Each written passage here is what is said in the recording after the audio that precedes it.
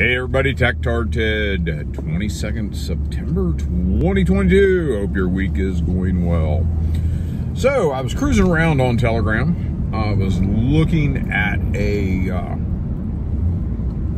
channel that likes to do exposes of uh, folks that are fighting for the Ukrainian army, uh, foreign volunteers, and I found uh, a brief synopsis of a guy who's from my home state of Virginia down in South Boston. And I read about what they had on him and that he was a very outspoken, prominent member of the Boogaloo Boys. Now, I'm not going to get into the whole thing of does the Boogaloo Boys really exist? Are they terrorists? Are they that? Are they that? No, I'm not going to get into that at all. What really kind of amazed me as I put two and two together.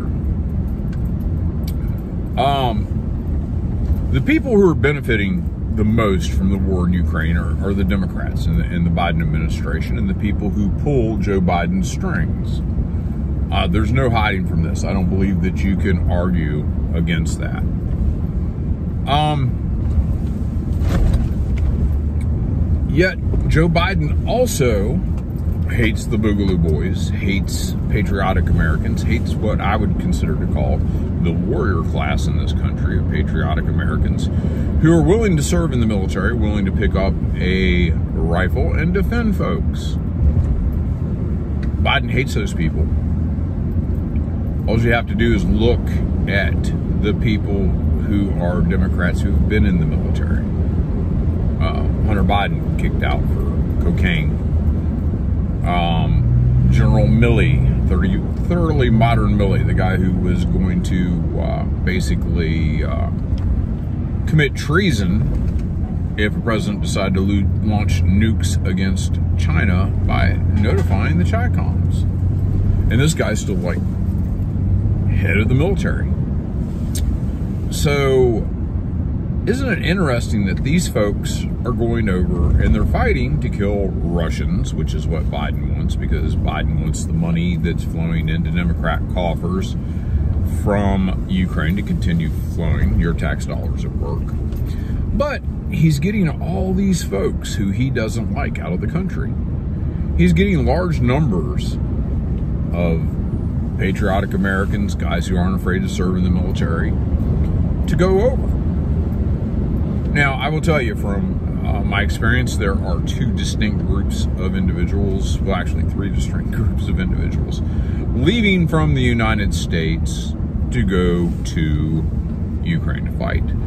Uh, the first one is already over there. That's the neo Nazi effect. Uh, the guys who uh, wanted to go hang out with Azov and right sector. And those guys were already over there before the war began. And there may be a few more who left because they uh, heard the call all of a sudden. The second group are criminals who know that they're going to get caught up with. Um, there's a guy that I know in a community north of here who had certain problems with the law and he was hoping to get away to Ukraine, but the law caught up with him before he could get on the plane to Poland. The last group are decent guys. They're military guys. They they they see what they thought was an oppressed people, and they went. Now I will tell you, some of those guys didn't do their research very well, and I know some guys that went over, and I don't have a problem with them. Um, not for me. Um, I looked at going over there in about 2015, but I would have been on the other side of the line of contact. And after I looked into it for a good six months to a year, I decided that some of the people who I knew who were over there weren't people I wanted to be involved with. The cause may have been good, but I didn't want to, to me at least, but I didn't want to lay down with dogs because I didn't want to get fleas. So I find it a little interesting that folks will just jump and go and grab a gun and go kill Russians within two to three weeks of a war breaking out without doing any research. And I think we saw that with the guys who were saying how they were mistreated at the hands of the Ukrainians, how they were under equipped and used as cannon fodder. Um, you know, these these things came out and they were well documented. Um, and then I do one guy who I know um, through one of the hobbies I'm engaged at in. I know he went to uh, serve in a medical pass capacity with the Ukrainian army. Good guy, veteran. I got no problems with him. He's a good guy. He went over and uh, came back. Uh, he had some unflattering things to say, and I don't press him about uh, his experiences over there. That's for him. I don't want to, you know, make it a curiosity. I do. I figure one day we're going to sit down and discuss and we'll get up, up a conversation. We've had a couple minor conversations.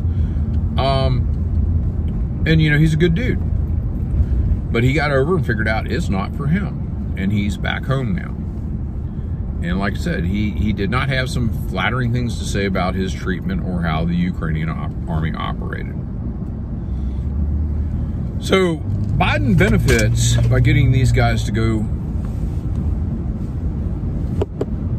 take part in operations against the Russians. He benefits if they don't come home because those won't be people um, that he has to uh, worry about. He, he, doesn't like them anyhow. His supporters don't like him. So that's a win-win. And I'll be quite honest, folks, I'm not so sure that when this all wraps up, that there'll be a massive shift back to the way things used to be as far as the legalities of fighting in a foreign army. Used to be, you forfeited your American citizenship by fighting in the military of a foreign nation. It was one of the best ways to be stripped of your citizenship. Um, I look forward to go back to that because I think once the uh, Democrats and the government have all these folks who could potentially be seen to be a problem for the government because they simply don't lie down to be fucked. Um, the government benefits by them not coming home. It's a benefit for them to stay out of the country. So I look for there to be, after all this wraps up, and Ukraine's going to lose, um, I look for there to be some sort of legislation or an act to reaffirm that these folks are persona non grata in the United States and will go to jail when they return. I, you know, I, I hate to say it, but I think it'll be done, and I think it'll be done quietly. And I think it's sad because this is a way for the powers that be to diminish patriotic Americans. They trick patriotic Americans into going. They, they continue to lie to patriotic Americans. The patriotic Americans that readily jump and go are expendable to this government. They would much rather have a weak army that benefits their agenda. You know, it, it's amazing. Um, so many troops kicked out of the military over an experimental injection people thrown out of the military for having an opinion that was voiced outside of being in uniform. Or the military didn't like certain things that ended up on troopers' uh, Facebook pages. And it's interesting. All the folks on Facebook, and they find these couple guys and throw them out for various things. Um, I'm just not sure where this is going, folks. It just seemed odd to me that the people pushing this war and the people who are benefiting from this war hate the people who've left this country to go fight that war. And I just, I think it's a horrible situation. But is what it is. All right, folks, you take care. I'll talk to you later. Bye.